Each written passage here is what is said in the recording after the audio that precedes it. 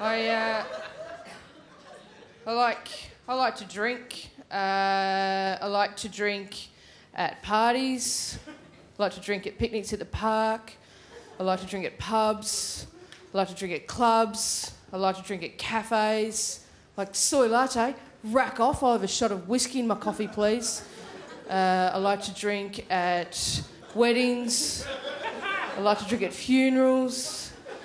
I like to drink at Auskick matches. I like to drink at school concerts. I like to drink at rehab. I like to drink. Right? And I know there's some people out there that go, you know what? I don't need to drink to have a good time. I don't need to drink to have a good time. I can go out, have a good time without drinking. You know what? Same here, right? Sometimes I'm quite happy just to sit at home and stare at a wall. Maybe build some Lego. Maybe, maybe I drink at parties so you're more entertaining. Go fuck yourself. All right, here's the thing, right? As a um, as a woman, uh, as a as a gay woman, uh, suck it, uh, that works in the arts. Um, Tony Abbott ticks all my boxes. Um,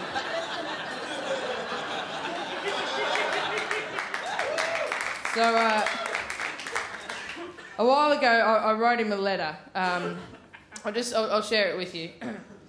Dear Tony Abbott, firstly, may I say thank you. Thank you so much. Finally, someone with some vision and ability and leadership to take over the portfolio for women. For too long, it's simply been women taking care of other women, and you know women can't take care of other women because we all know women intrinsically hate other women. I mean, you'd know that firsthand being the father of three daughters. It takes a real man to take care of a real woman. Well, all women. I'm writing to you as I felt you would be the best person to seek advice from, given you are the Minister for Women's Affairs. In the past few months, I've experienced an irregular period and a painful heavy flow.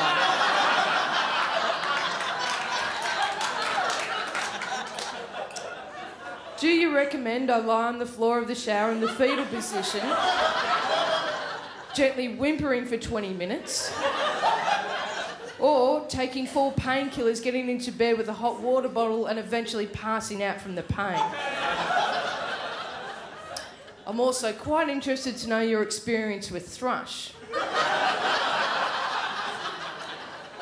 I'm often told natural yogurt is a good remedy, but to be honest, that just seems messy. Also, do you find you get a lot, of, a lot of unwanted attention and possible fondling of your private bits? Because quite clearly, you must be asking for it by constantly wearing nothing but a pair of Speedos. okay, clearly I'm joking. But I feel it necessary to point this out because quite clearly, you're a dumb cunt.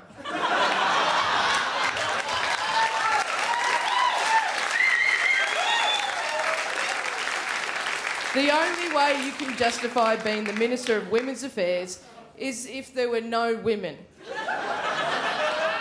and even then, you would have to change the title to the Minister of Where Are All the Women? However, given your current cabinet, that's probably a justified question. Yours sincerely, Geraldine.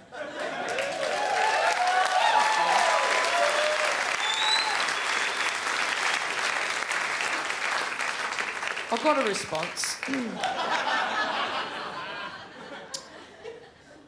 Dear Geraldine, thank you for your letter.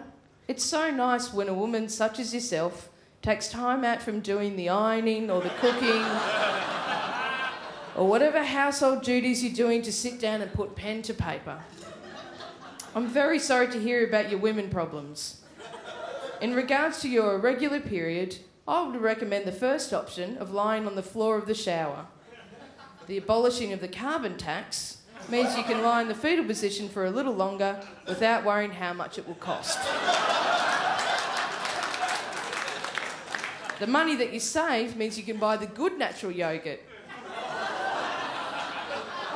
And yes, it can be messy, but you'll know how to clean it up. I unfortunately don't get enough attention.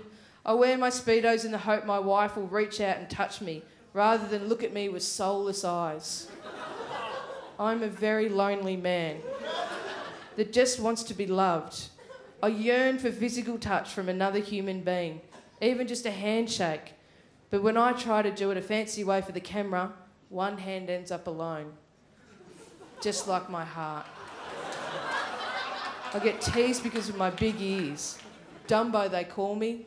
Tony Dumbo Abbott. I wish I did have Dumbo ears so I could fly far, far away to a land where I had a palace and I could finally become a knight and eat all the onions I want. Your mate Tony. Uh, ladies and gentlemen, Geraldine Hickey, thank you very much. Geraldine Hickey, ladies and gentlemen!